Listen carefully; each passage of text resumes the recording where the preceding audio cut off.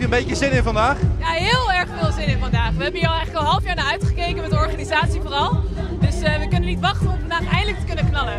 Maar als je kijkt naar Amsterdam als stad, dan zijn we zogenaamd heel, heel erg ja, geaccepteerd voor homoseksuelen en lesbiennes. Maar het valt onwijs tegen en dat vind ik heel jammer.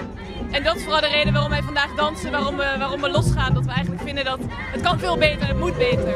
Nou, ik las toevallig het een en ander op Facebook eh, eh, gisteren.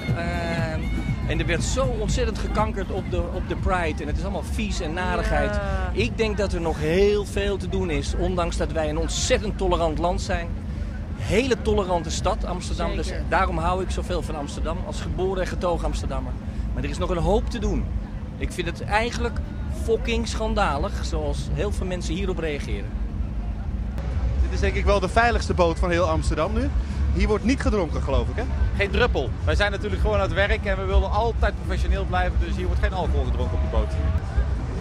En bent u zelf homoseksueel? Ja, dat klopt, ja. ja.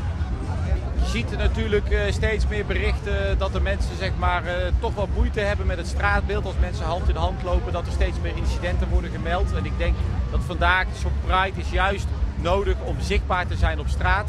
En te laten zien dat we er ook zijn voor iedereen.